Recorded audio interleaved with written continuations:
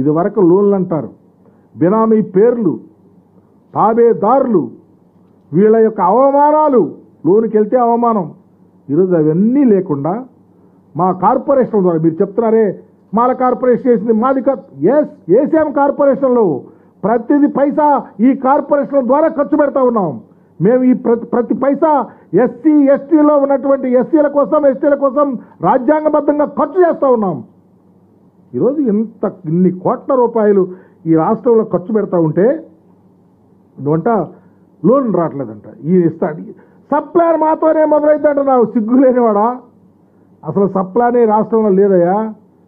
Sub plan time అయిపోతే మరలా మేము ఈరోజు ఎక్స్చేంజ్ చేసి పేరు మార్చి నడుపుతా ఉన్నాం. నీకు అది తెలియదు అసలు ఆ అవగాహనే లేదు.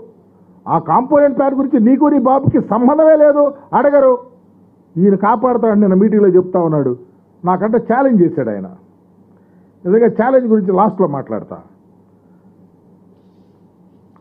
ఈరోజు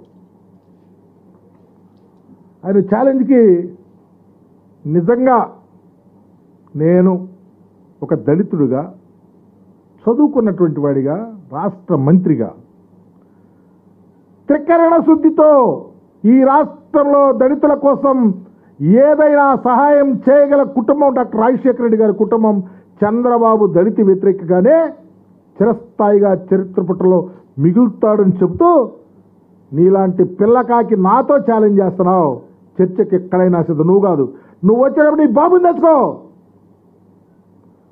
ఇంకా లేకపోతే ఇంక మేధావులన్నారు నీ పార్టీలో తెచ్చుకో.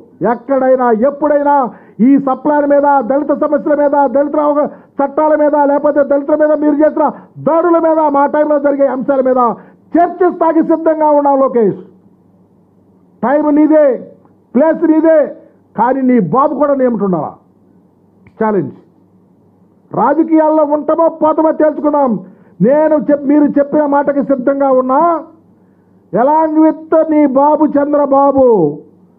దళితుల్లో ఎవరైనా పుట్టాలనుకుంటున్నారా అన్న దగ్గర నుంచి దళితుల మీద చేసిన దాడులు అఘాయిత్యాలు అమానుషాల మీద శ్రీకాకుళం జిల్లాలో కళ్యాణి మీద జరిగిన దాడిలో అచ్చెన్నాయుడు పాత్ర మీద విశాఖపట్నంలోని జొర్రిపోతుల పాలనలో జరిగినటువంటి ఒక స్త్రీని వివస్త్రం చేసినటువంటి అంశం మీద అమలాపురంలో ఆవు చర్మాన్ని కోసిన అంశం మీద దళితుల మీద కట్టేస్తే నీ బాబు మాట్లాడిన దాని మీద గగరపల్లిలో అంబేద్కర్ విగ్రహాన్ని పెడతారని చెప్తే నాలుగు వందల కుటుంబాలను వెలివేసిన దాని మీద ఛాలెంజ్ అలాగే ఆగిరిపల్లిలో కుర్రవాడిని తీసుకెళ్ళి పోలీస్ స్టేషన్లో కొట్టిస్తే మీ బాబు నోరు తెరవు దాని మీద.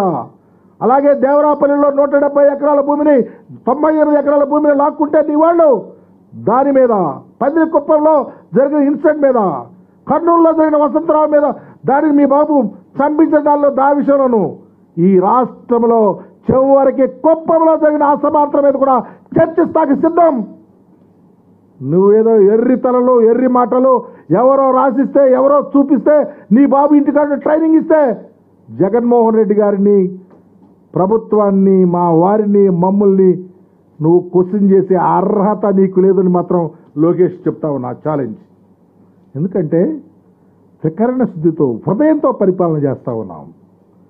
ఈ దేశ చరిత్రలోనే ఏ రాష్ట్రంలో కూడా అంబేద్కర్ భావజాలం జగజ్జీవన్ రావు గారి కాన్సెప్టు అలాగే జ్యోతిరావు పూరే ఆలోచనలను పుడికి పుచ్చుకుని నడుపుతున్నట్టు అబ్- మౌలానా అబుల్ కలాం ఆజాద్ ఆలోచనలు